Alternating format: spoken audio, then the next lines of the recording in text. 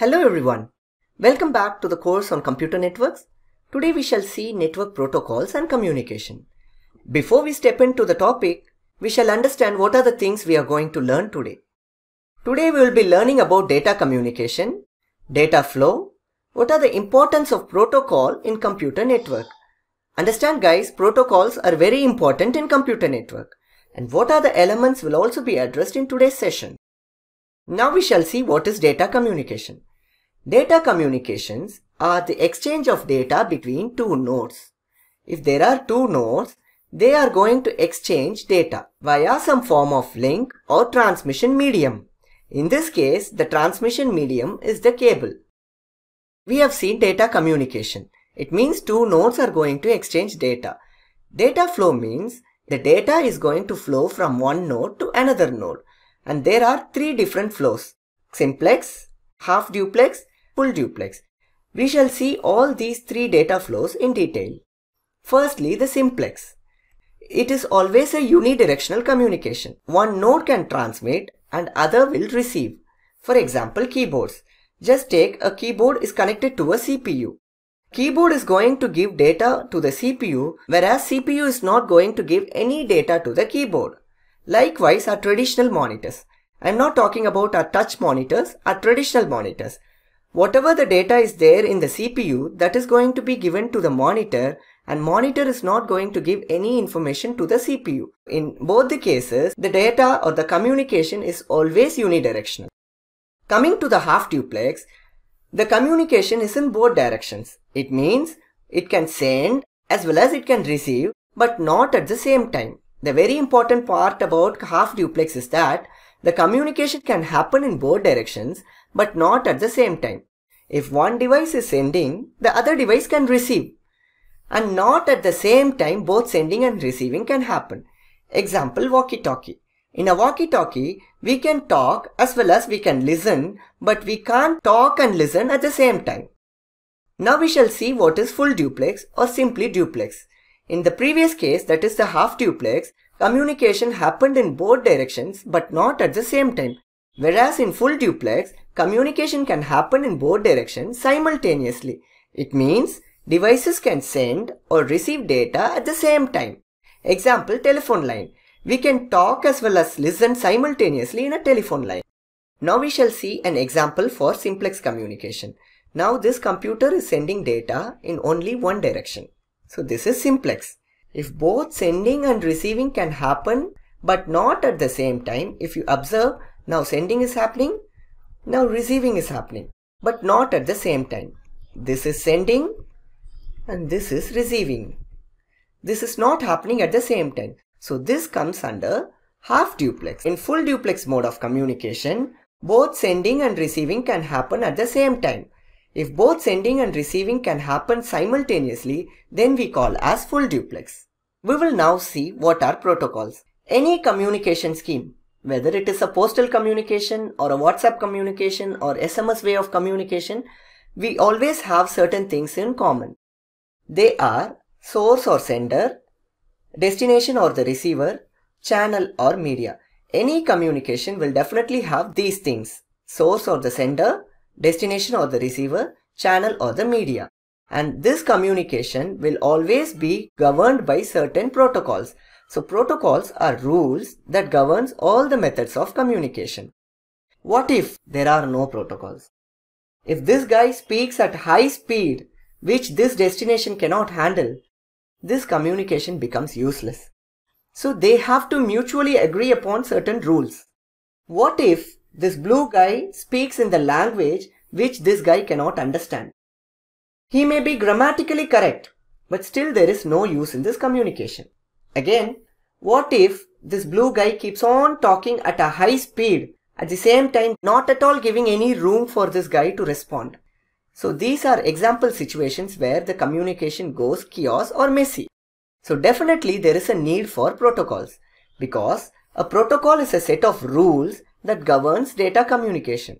Simply speaking, protocol is a rule that governs data communication.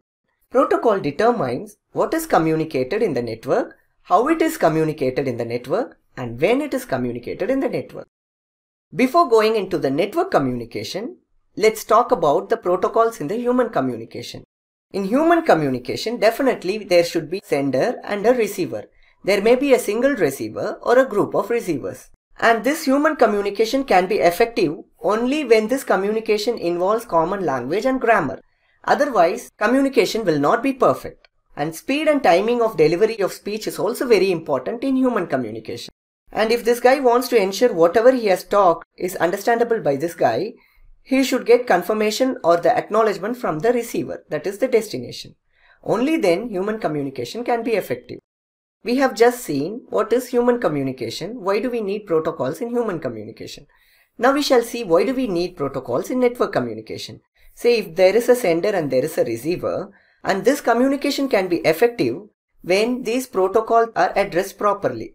The message should be encoded, formatted and encapsulated in such a way that the destination can understand. Timing is also very important in network communication. The size is also very important because the link cannot carry big data. If this is a low capacity link, then this link cannot carry big data. If there is a very big data in the sender side, it cannot send that big data on a very small link. So it has to be handled appropriately. At the same time, the delivery option should also be dealt. Whether the message is only for one destination or some group of destinations or all the destinations in the network. That should also be dealt in the protocols part. So a protocol defines message encoding, message formatting and encapsulation, message timing, message size and the delivery. That is what we exactly call as elements. The elements of protocol are message encoding, message formatting and encapsulation, message timing, message size and message delivery options. We shall see each of these elements in a detailed manner. Message encoding means the source, that is the source computer generates a message, it gives that message to the encoder in order to generate signals. Once the data is converted into signals, now it is given to the transmitter for transmission. You may be getting confused why we need encoder here. Because we have two kinds of transmission medium. One is a wired medium, another one is a wireless medium. The source have to understand to which medium it is connected to. If it is a wired medium, the data have to be converted into signals in order to facilitate the data transmission on a wired medium. If it is a wireless medium, the sender have to encode the data in the form of waves because this is a wireless medium, we can't send signals, we have to send waves. And once the data is sent through the transmission medium, the receiver receives the data and decodes it. Decoding means understanding it. After understanding it properly, it means the message has reached the destination. This is what message encoding is all about. The sender sends the data, the sender creates the data and encodes the data and finally the transmitter sends the data through the transmission medium. This transmission medium takes the data to the receiver. The receiver after receiving the data, it decodes the data and after proper decoding, it means the message has reached the destination. This is what message encoding is all about. We shall see the second element of the protocol that is the message formatting and encapsulation. Both sender and receiver must mutually agree upon certain formats which we call as formatting.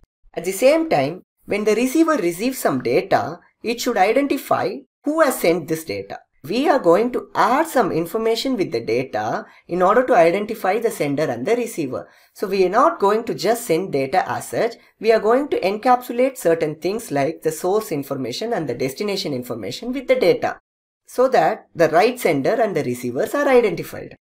And the third element in the protocol part is message sizing. If there is a very big message to be communicated to the destination, Human breaks the message into smaller parts or sentences. Say if this guy has a very big content to be sent. So what he does? He breaks the message into smaller parts or sentences. Likewise, our computer should also do that. If the capacity of the link is very small, but the data to be transmitted is very big, this computer should break this big message into smaller units which this transmission medium can handle. This is what message sizing. And this is one of the thing a protocol should do. And message timing is the fourth element of protocols. And message timing deals with flow control and response timeout. Let's first talk about flow control. Let's assume this guy is very fast, the sender is very fast and the receiver is slow. Since the sender is very fast, it can send data at high speed. What about the receiver? He can't handle that speed. If there is no flow control mechanism, he can keep on sending data, but he cannot receive that data. So the entire communication will become useless. It is the responsibility of the protocol to provide flow control mechanism. At the same time, if the sender is sending some data and the receiver has to acknowledge the data, when the acknowledgement is sent back to the sender, the sender can understand that the data is received by the destination.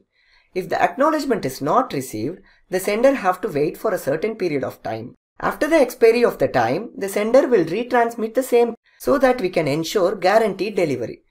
And it is the responsibility of the protocol to tell how much time this computer should wait for an acknowledgement. And we have the last element of the protocol, the message delivery options. There are three delivery options. 1. Unicast, 2. Multicast, 3. Broadcast. Unicasting means one sender and one receiver. It means this sender is going to send data to exactly one receiver in the network.